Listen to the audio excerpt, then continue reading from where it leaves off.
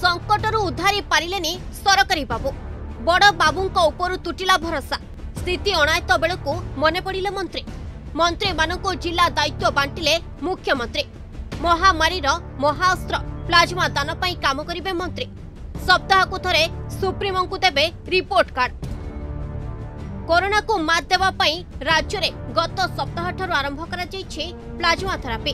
ଏହାରି ଭିତରେ plasma therapy ଯୋଗୁଁ ବର୍ତ୍ତମାନ ସୁଦ୍ଧା ତେର ଜଣ କରୋନା ସଂକ୍ରମିତ ମଧ୍ୟ ସୁସ୍ଥ ହୋଇସାରିଲେଣି।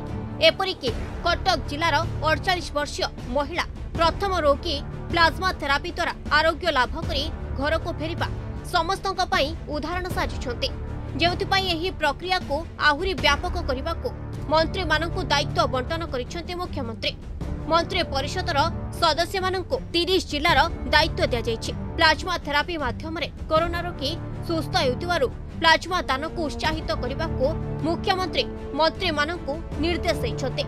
ମନ୍ତ୍ରୀମାନଙ୍କୁ ଦାୟିତ୍ୱ ଦିଆଯାଇଥିବା ଜିଲ୍ଲା ଗସ୍ତ କରି ସୁସ୍ଥ ହେଉଥିବା ରୋଗୀମାନଙ୍କୁ ପ୍ଲାଜମା ଦାନ ପାଇଁ ଉତ୍ସାହିତ କରିବେ ଏବଂ ଏଥିପାଇଁ ଆବଶ୍ୟକ ବ୍ୟବସ୍ଥା ମଧ୍ୟ କରିବେ।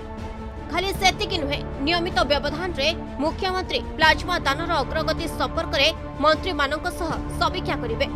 ଯେଉଁମାନେ କୋଭିଡ଼ ନାଇଣ୍ଟିନ୍ରେ ଆରୋଗ୍ୟ ଲାଭ କରିସାରିଲେଣି ତାଙ୍କୁ ଆମେ ଏ, ସାମ୍ନାକୁ ଆଣିକି ତାଙ୍କୁ ଆମେ ଆଣିକି କେମିତି ସେମାନେ ବ୍ଲଡ଼ ଡୋନେଟ୍ କରିବେ ତା ପାଇଁ ଗୋଟେ ମୋବିଲାଇଜ୍ କରାଯିବ। ସେ ମୋବିଲାଇଜ୍ କରିବା ପାଇଁ ଆମେ ସବୁ ଜିଲ୍ଲାରେ ଯେଉଁମାନେ ଆରୋଗ୍ୟ ଲାଭ କରିଛନ୍ତି ତା'ର ତାଲିକା ବାହାର କରିକି ତାଙ୍କ ସହିତ ଆମେ ବ୍ୟକ୍ତିଗତ ଭାବରେ ୱାନ୍ ଟୁ ୱାନ୍ ଆଲୋଚନା କରିବୁ। ତାଙ୍କୁ ଆମେ ଏ, କେମିତି ସେମାନେ ପ୍ଲାଜମା ଡୋନେଟ୍ କରିବେ ସେଥିପାଇଁ ଆମେ ୱାନ୍ ଟୁ ୱାନ୍ ଆଲୋଚନା କରିବୁ। ଢେଙ୍କାନାଳ ଜିଲ୍ଲାର ସମସ୍ତ ବିଧାୟକ ମନ୍ତ୍ରୀଙ୍କ ସହିତ ଚର୍ଚ୍ଚା ବିଚାର ବିମର୍ଶ କରିକି କଲେକ୍ଟର ଶାସନ ପ୍ରଶାସନଙ୍କ ସହିତ ସମସ୍ତ ରୋଗୀଙ୍କୁ ଚିହ୍ନଟ ତାଙ୍କ ଆଡ୍ରେସ୍ ମୋବାଇଲ ନମ୍ବର ନେଇକି ତାଙ୍କୁ ଉତ୍ସାହ କରିକି କିଭଳି ପ୍ଲାଜମା ଡୋନେଟ୍ କରିବେ ଏବଂ ଅନ୍ୟାନ୍ୟମାନେ ସେ ପ୍ଲାଜମା ଗ୍ରହଣ କରିକି ସ୍ୱାସ୍ଥ୍ୟ ଲାଭ କରିବେ ସେଇଥିପାଇଁ ଏହି ଅଭିନବ ପ୍ରୟାସକୁ ମୁଁ ସାଧୁବାଦ ଦେଉଛି ଏବଂ ଧନ୍ୟବାଦ ଦେଉଛି ମାନନୀୟ ମୁଖ୍ୟମନ୍ତ୍ରୀ।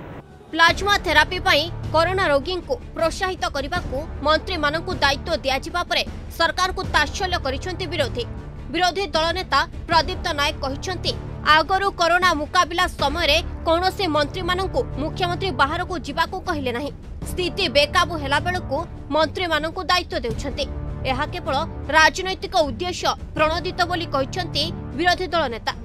କଂଗ୍ରେସ କହିଛି ଖାଲି ମନ୍ତ୍ରୀମାନଙ୍କୁ ଦାୟିତ୍ୱ ଦେଲେ ହେବ ନାହିଁ।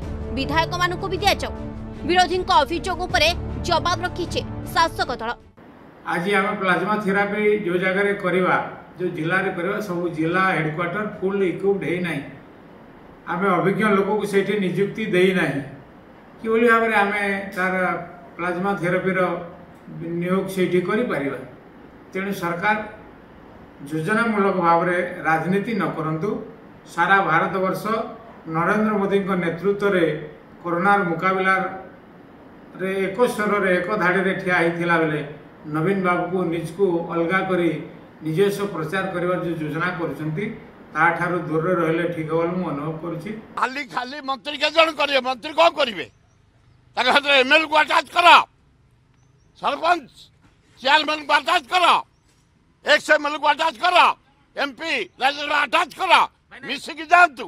ତାହେଲେ ମୋଟିଭେଟ ହେଇପାରିବ। ଏଇ ଯୋଉ ସଂଖ୍ୟା ବଢିଗଲା ଅଫିସର ମାନେ କଣ୍ଟ୍ରୋଲ ବାହାରେ ହେଇଗଲା ଲୋକ ପ୍ରତିନିଧି ଖୋଜା ହେଲେ।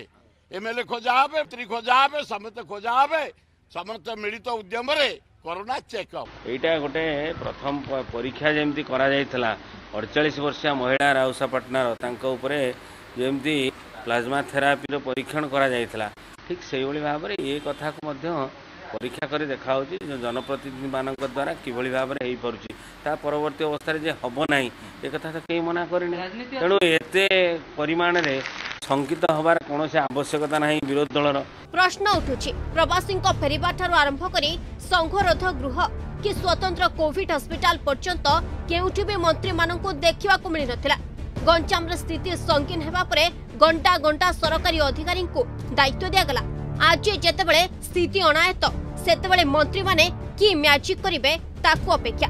ଭୁବନେଶ୍ୱରରୁ କ୍ୟାମେରା ପର୍ସନ ପ୍ରଦୀପ ଓ ସନାତନଙ୍କ ସହ ପ୍ରଦୀପ୍ତ ମହାପାତ୍ର ଏବଂ ଦିବ୍ୟଜ୍ୟୋତି ମହାନ୍ତିଙ୍କ report the Argus dot in.